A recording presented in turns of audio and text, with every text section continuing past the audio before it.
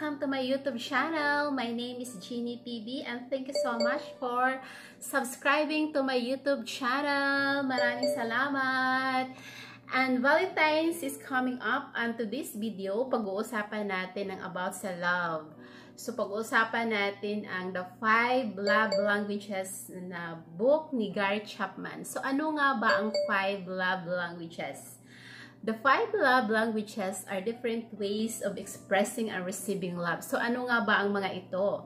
So, number one is words of affirmation. Number two is quality time. Number three is acts of services. Number 4 is gifts. And number 5 is physical touch. Ano nga ba ang mga ito? So, isa-isahin po natin to para mas lalo nating ma-appreciate at um, mas lalo nating maintindihan ng ating mga partners, especially sa mga married couple out there. So, keep tuning! Alright, the five love languages. Number one is words of affirmation. Pag ang tao na ang kanilang love language is a word of affirmation, mas na-value, na-appreciate, at mas nafe-feel nila yung love pag sinasabihan sila ng I love you, uh, na-appreciate sila, nako-compliment sila, uh, sinasabihan mo sila ng mga verbal encouragement, at uh, tinetext mo sila, or min-message sa mga social media nila, or um, you give them love letters. So, na-appreciate yan ng mga tao na ang kanilang uh, love language is uh, word of affirmation. So, talagang nafe-feel nila, nafe-feel nila yung love. So, whenever you encounter people like this, so, um, alam mo na yung gagawin mo na you can say to them uh, that uh, you appreciate them uh, verbally dahil sobrang nafe-feel nila yung love. Alright! Number two of our love languages is quality time. So, yung mga taong merong love languages na quality time is mas na-appreciate nila and, and they feel love if the, the people uh, spend time with them. As in, uh, talagang physically and mentally presence yung tao na spend time with them na walang mga undivided na mga distractions na eye contact to them, spend time with them na walang distraction. So, uh, whenever you encounter people like this, mas na-appreciate nila yung mga tao na ang talagang focus ay sa kanya lang. Like me, ang love languages ko is quality time. I appreciate people pag uh, they spend time with me na walang distraction like pag uh, kausap ako as in uh, making eye contact na walang nagsi-cellphone whenever I talk. So I appreciate more if people like uh, if, if people like uh, to spend with me na walang uh, undivided or walang mga distractions so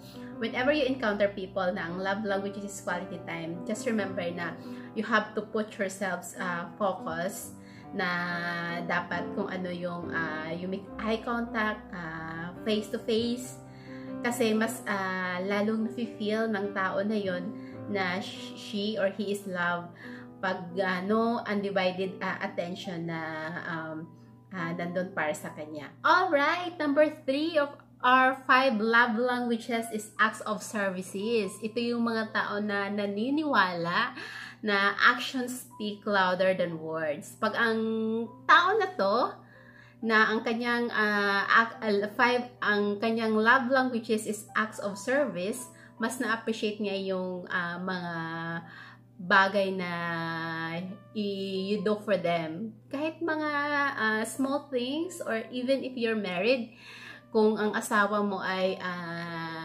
naglalaba for you instead na in your business, hindi mo na magagawa yung mga bagay na yun. Pag siya ang naglalaba for you, na-appreciate mo yon So, kahit uh, doing the errands for you, na-appreciate, uh, na-appreciate mo yon Kasi nga, ang iyong love languages is acts of service.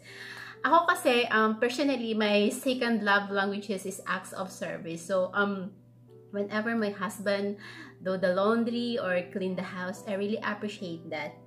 Kasi parang I feel love dahil ginagawa niya yon for me. So, yun din yung mga tao na pag kanilang love languages is uh, acts of service. So, even if you do things na maliit na bagay lang, uh, for us or for them, malaki na yan. So, Alam nyo na mga beshes, you know what to do. So, Alright, number four of our five love languages is gifts, receiving gifts. Ito yung mga tao na ang, kung ang kanilang love languages is uh, receiving gifts, mas na-appreciate nila pag binibigyan nyo sila ng mga gifts. So, hindi naman ibig sabihin na itong mga taong to is materialistic.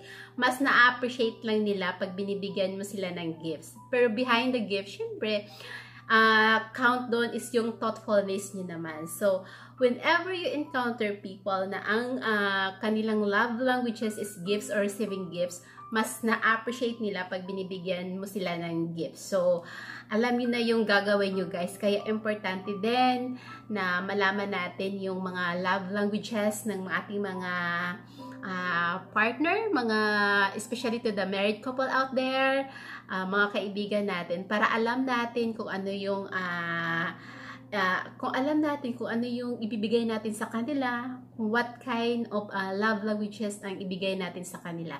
So number five, hindi ko na pahabain yung uh, regarding sa gifts dahil alam na naman natin yung mga gifts, kung ano yung gifts na dapat nating ibigay behind the gifts, ang importante dun is yung thoughtfulness. Sabi nga nila, it's not about the price but, but the thought. Alright, nandito na tayo sa fifth or pinaka last but not the least na five love languages which is the physical touch. So, yung mga tao na ang kanilang love languages is physical touch must they feel love and appreciated whenever they receive um, physical signs of affection like kissing, hugging, kissing, hugging, cuddling, and uh, holding hands. Mas uh, doon nila na-appreciate pag naka-receive sila ng mga physical uh, affection. So, kaya tayo mga beshes, uh, wag tayong magiging judgmental whenever we see people in the public places na nag uh, public display of affection or holding hands or yung mga taong mahilig uh, mga akbay Uh, kasi yun yung uh, kanilang love languages. So, doon nila na-feel yung love, na appreciated sila through physical touch. So, um, so, we know what to do na. At least meron na tayong idea kung paano natin express or how to receive love through the five lang love languages that I've mentioned.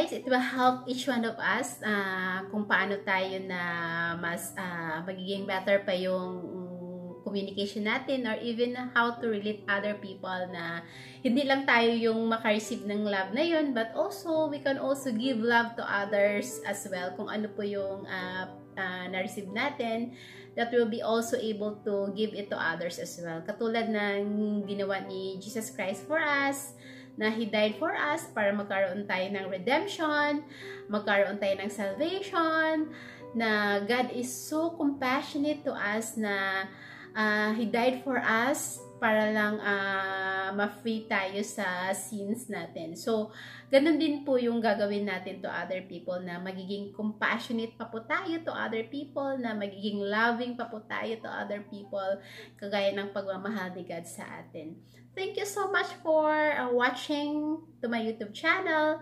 If you like this video, please uh, comment and share and subscribe to my YouTube channel. Thank you so much and God bless us all. Happy Valentine's Day. Uh, the greatest uh, love of all is uh, the love of God for us because He died for us to redeem us from our sins. And thank, thank you so much for watching to my YouTube channel. Happy Valentine's to everyone. Mahal kayong lahat ni Lord. God bless us all.